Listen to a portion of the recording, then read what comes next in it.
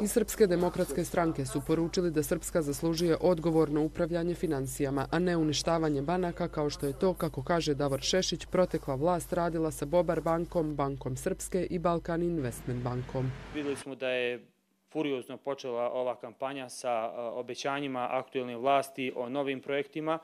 Moram da kažem građanima da ih podsjetim da vlast koja je uništila privredu Republike Srpske i koja je dovela građane na rub egzistencije ne može da priča o rešenjima i budućnosti. Prvenstveno tu ću pomenuti propast tri banke, Bobar banke, Balkan Investment banke i banke Srpske. Ono što je tu sporno jeste da nemamo odgovornih eh, za propast tih banaka.